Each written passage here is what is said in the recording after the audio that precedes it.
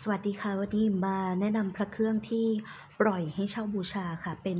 ขุนแผนรุ่นแรกพรายสิริสุกัญญาของหลวงตาดวงแสงค่ะ สมทบทุนสร้างบันไดพญานาคนะคะ ณสถานพระธาตุจอมปันอำเภอเทิงจังหวัดเชียงรายค่ะ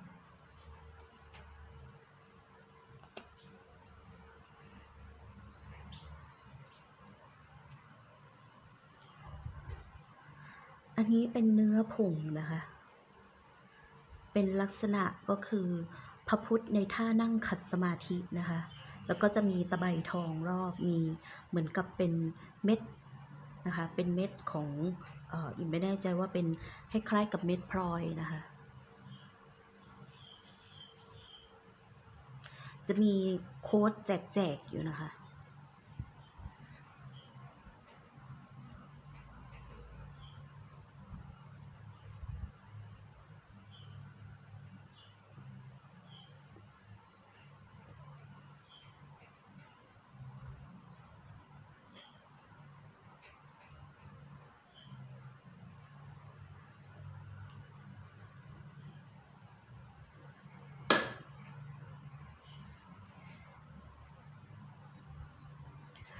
ท่านที่สนใจจะเช่าบูชาราคาอิ่มแจ้งไว้ที่ใต้คลิปพร้อมกับ